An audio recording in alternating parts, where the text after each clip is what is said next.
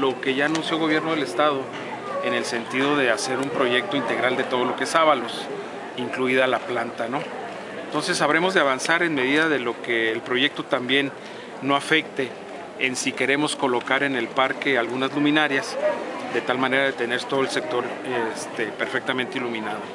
Ahorita continuamos con los trabajos de limpieza, por ahí se han de ver algunas volantas en donde estamos dándole este, sobre todo el retiro de maleza y de basura y vamos a trabajar en la placita para rehabilitarla a la brevedad en cuanto a pintura de graffiti.